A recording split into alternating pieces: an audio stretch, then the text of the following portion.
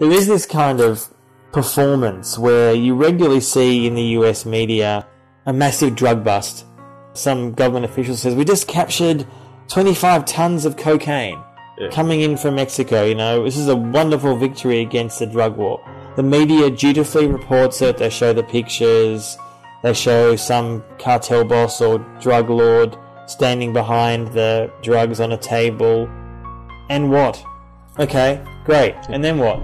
And then what? And what happens after that? Nothing happens. The drugs keep coming in and more people are dying. So I regularly said as a journalist myself, journalists should not play along with that game. It's not a story. It's a press release from the police to try to convince people that they're fighting a drug war to justify the tax dollars that are going into the drug war, where it's a sham. Because everyone knows that the rate of drug abuse, as we said during this conversation, has never been higher. It's never been higher.